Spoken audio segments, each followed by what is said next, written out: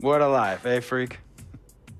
One minute you're playing 21 and horse on the courts in Harlem, and the next moment you're in the showroom, configuring the gunmetal and graphite exterior of your luxury car and your iPad mini. oh, I bet you get a crazy crowd when you drive that car around the block in the old neighborhood, huh? Yeah, I'm living the dream. Bad pandemonium. But folks from back around the way are real proud of me. Yeah, I hear you. Local kid makes good.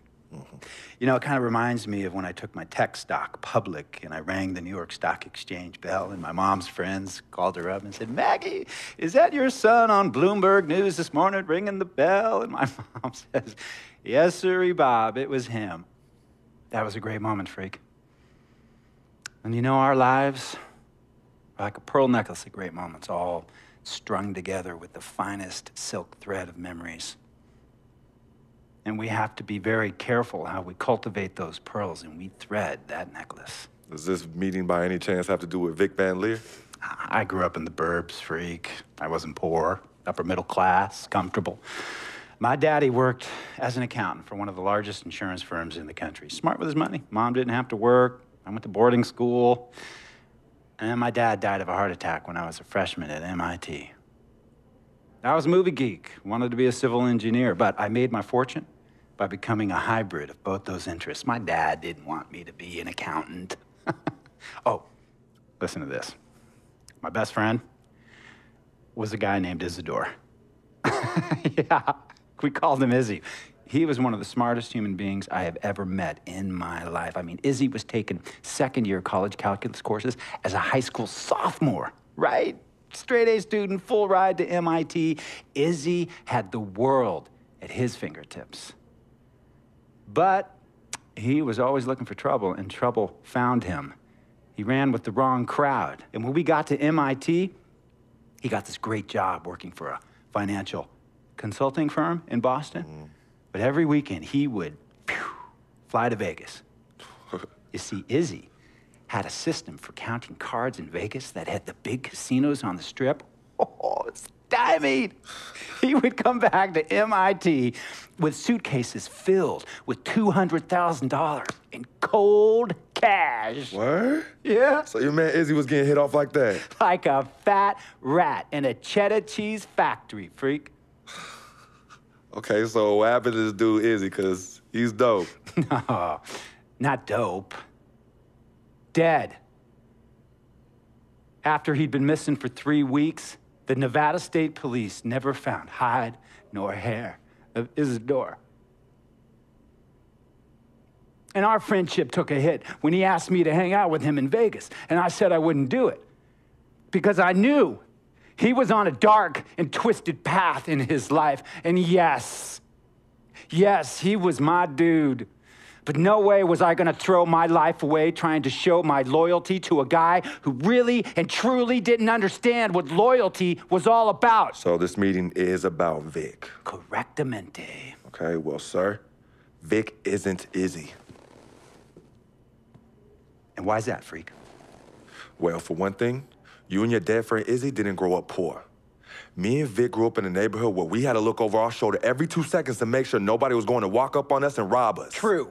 Izzy and I did not grow up in the hood. But we, like you, thankfully grew up in a two parent household. But even that wasn't enough for Izzy. He wasn't satisfied. He was always looking for a five alarm fire when he already had the warmth and comfort of a loving family. This is not about class warfare, freak. This is about the consequences of making bad choices and risking it all when you feel like you have nothing to lose.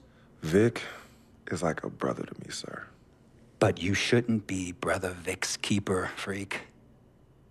Would a brother go looking for trouble and put your career and your livelihood at risk by getting into fights at nightclubs and seedy after hour joints and then scream to the media, yeah, it's all good, I'm an FOF, friendo freak. It's all misunderstanding. Y'all be haters, don't hate my game.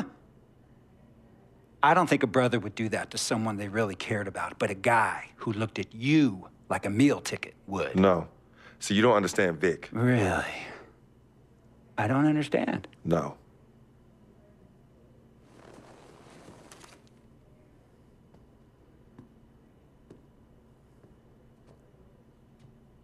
Look, man, it was a misunderstanding with the guy in the next VIP booth. His honey started flirting with me. So naturally, I started flirting back. Next thing I know, Captain Cornball's off my grill piece beefing. Next thing he know, he got a two-piece and a biscuit under his left eye. hey, nah, nah, I, I don't know who hit him. And it damn sure wasn't me. hey, Captain Cornball's mad because I'm an FOF, friend of freak. hey, but check this out though. He needs to train that hottie before he leave the house though. Yo, he's he's hot as ain't loyal, man. What's there to understand? Are you freaking blind? You know, I just want to know how much did you pay your lawyers to make all this go away? Almost 100000 Excuse me, son, I'm sorry, I couldn't hear you. I said I paid almost $100,000. Exactly. And if you keep riding shotgun with Vic, you're gonna go broke. Quick, fast, and in a hurry. Look, Vic is my friend, and I grew up with him. How many times I gotta tell you, sir? Freak, this is not a request. I am not asking you to do this. I am telling you to do this. And the first order of business is that Mr. Vic Van Lier is banned from traveling with you on the road. Vic is banned from the locker room. And Vic is banned from this arena. And if I catch this guy, Vic, in or anywhere near the facilities, Mr. Vic Van Lier will be arrested for trespassing. Are you serious, sir? Brother, I'm as serious as cancer. We all know that can be deadly. You know, when me and Vic were kids, playing summer tournaments at the Dome, we always imagined making it to the pros, right? And after the crowds left, just a street light was on the court, like 11.30, 12 midnight, even 1 in the morning sometimes. we used to practice player introductions, running on the court, giving dap, high-fiving the teammates. Vic, he would act as an announcer. You know, he would introduce me and announce my name on the loudspeaker, and the, the jumbotron would uh, flash my image like a little guy dressed in long shorts and a jersey.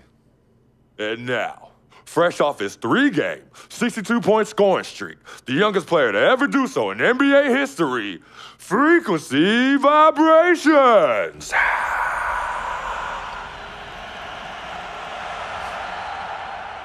So me and Vic would sit in those empty bleachers at the dome and dream like nobody's business.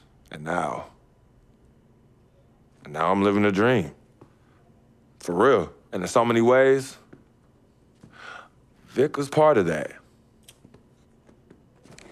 Please, listen to me. I mean, I know this guy's your dude from way back. Look, me and Vic go way back like the front seats of a 67 Cadillac. That's good. That's we go way back. Did you say? Did you say front seats? Front, front seats of a 67 Cadillac. We go way back like the front seats of a 67 Cadillac. Well, do you have any Crickets.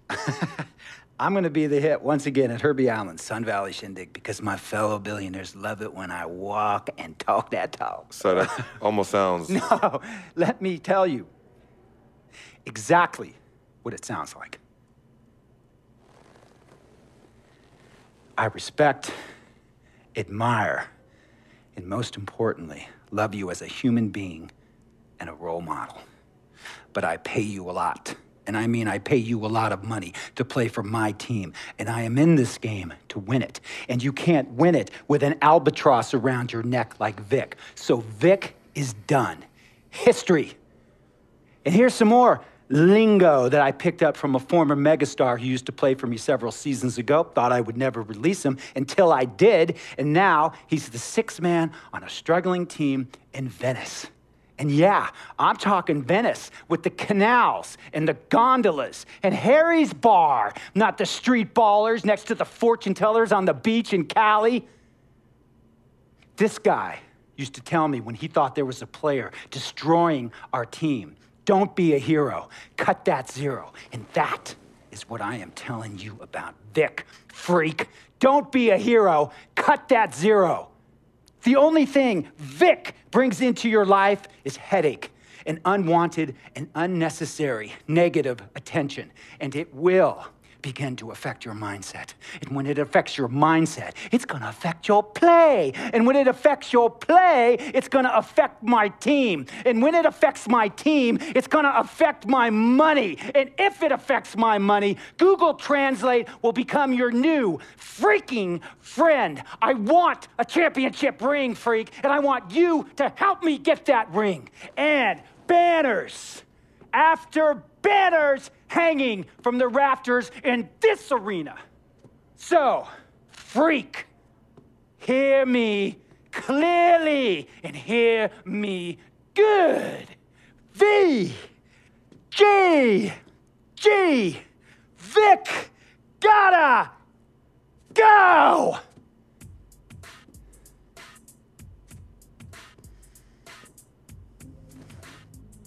Handle your business.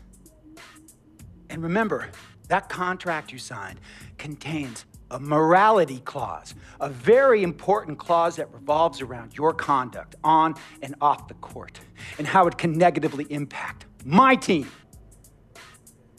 Now, I don't want you to have to learn Italian or Croatian as a second language. And hey, playing pro ball overseas, there's nothing wrong with that.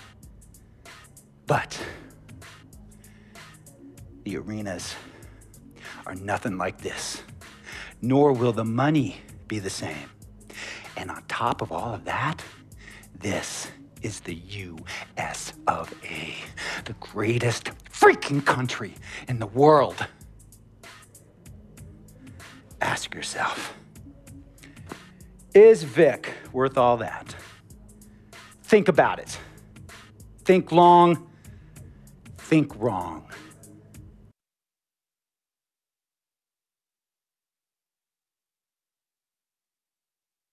Tell you about Vic. He, he has his bad rap. It's not, and I understand some of his judgments might shadow his actual character. He's not that at all. Man, Vic, let me tell you something. We actually, like, we have love for each other. We're brothers. Blood couldn't make us any closer at all. I mean, he, he has so much um, loyalty to me and to my family. You could see even Cece, you know, has uh, issues with him, but he's, he still loves her. He still loves her. Yeah.